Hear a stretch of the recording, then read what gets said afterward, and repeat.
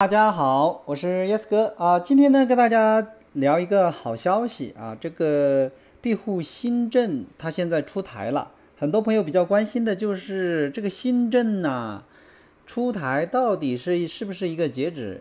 因为影响最大的就是工卡的这个时钟的问题。按照这个新政出台之后，所有的这个申请人的啊工卡时钟必须得走满三百六十五天才能申请工卡。那么大家比较关心的就是，如果说是在新政之前提交的申请，到底是按一百五十天算工卡时钟，还是按三百六十五天来算？呃，按照最近的一个例子啊，我怀疑很有可能在庇护新政之前提交的申请，可能是按照一百五十天来算工卡时钟，也就是老的申请按老的政策来，呃，它这个新的政策很有可能是。管制的是所有在这个新政以后提交的申请，那到底怎么回事呢？我们一起来看一看这个具体的一个例子啊。首先，我们简单的说一下这个庇护新政。其实啊，在之前的视频当中我们已经提到了啊，就是这个三百六十五天应该是铁板钉钉了。当然有有很多朋友说哦，现在他是不是能够这个受到移民局的这个呃，就是各种移民团体啊，或者是这个。呃，各种团体的这个法律挑战，啊，那么这种挑战呢，肯定是一定是不可避免的。但是这种法律挑战最终能够达到一个什么样的状态，谁也说不清楚。但是我觉得这个大势所趋是没有办法改变的，因为它这个法律挑战的模式嘛，就是呃上法院啊，好，这个地区法官啊把它禁出台一个禁令，但是呢，这个美国政府它也可以上诉啊。上诉最后搞来搞去就到了这个最高法院。最高法院目前来说呢，这个啊支持政府的这个这个政策呢还是比较多的啊，所以你说这个三百六十五天最后能不能呃被取消掉？我觉得可能性不大啊，只能说它会有一些的波折，但是最终这个三百六十五天肯定是没有办法去改变的，所以这个是铁板钉钉了。那么现在关键的问题就在于啊，就是刚才我们提到的这个，啊，到底这个在新政之前提交的申请人，比如说啊，五月份提交的申请，对吧？那我五月份提交的申请，现在你八月份啊出台的这个新政，那按照我五月份开始提交，对吧？那我到现在怎么着？这个工卡时钟应该也走了有三个月了，对吧？如果说我按照这个一百五十天这个老政策来的话，那我再过啊两个月啊三三个月已经是九十天了嘛啊，再过两个月也就是六十天左右，我就可以有资格去申请工卡了。结果那到底你这个新政出台之后，我是不是说自动延长到一年？还是说我还是按老政策来呢？这是很多朋友关心的一个问题。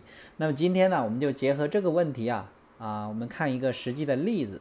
这个例子是一位朋友啊，他刚刚收到的一个回执。他这个回执呢，当然他这个不是说他刚申请，然后别人提呃给的回执，而现在收回执都慢了啊。他这个是六月份六月份啊递交的申请，然后现在才收到的回执。啊，收到回执呢？他收到回执以后呢，这上面就会有一个那个啊外国人号码 A number 啊，有这个 A number 呢，他就可以直接在呃移民局的官网上查他的这个 case 的状态。然后他一查呢，很奇怪啊，就是现在大家看到的这一段英文，它什么意思呢？我们来简单看一下啊，他是说呃。我们收到你的申请，We received your application and sent the received notice to the mailing address we have on file. You should receive a notice for your biometric appointment in the mail. 啊，就是很快你就要收到这个打指模的这个信了。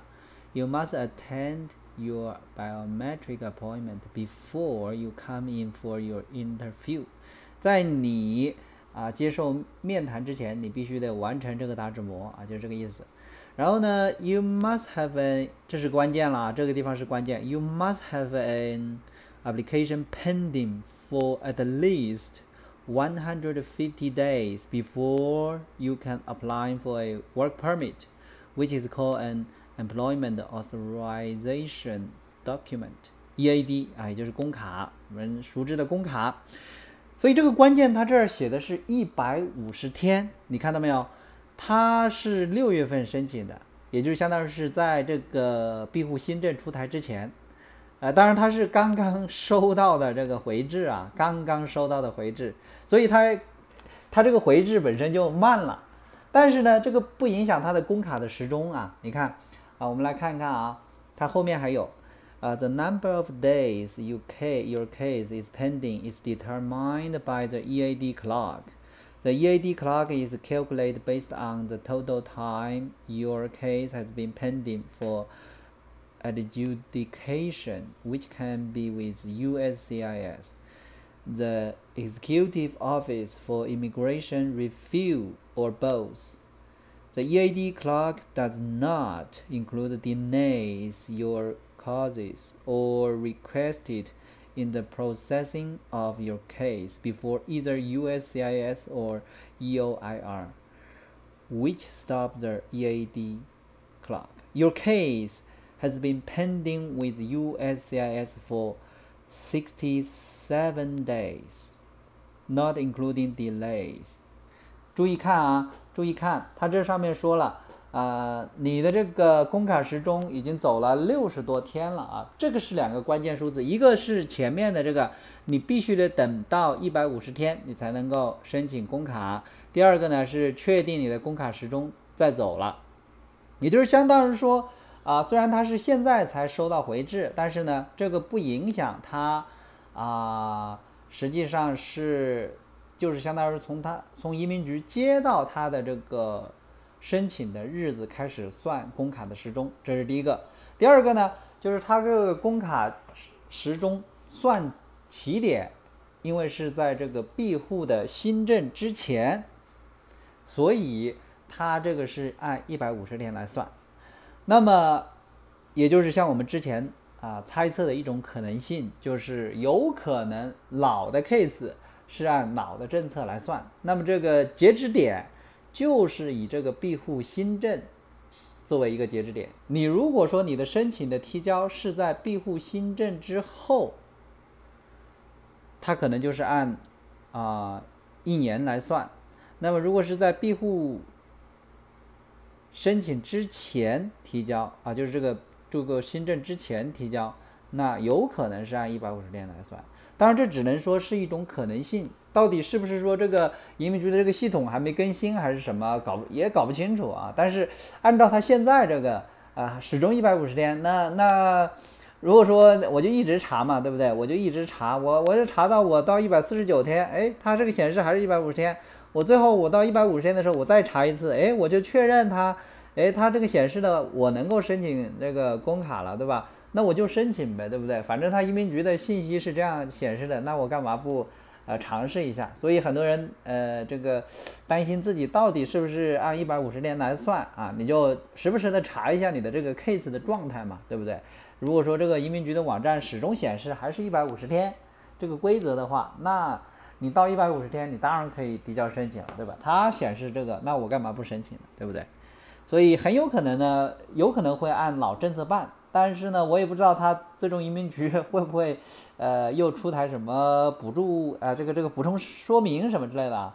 但是呢，我们现在还是按照比较乐观的预计吧，很有可能这个，呃，庇护新政之前的申请按老政策办，然后后面的是不是按新政策啊？是这个样的。好，今天的话题呢就讲到这儿，谢谢大家的收看，再见。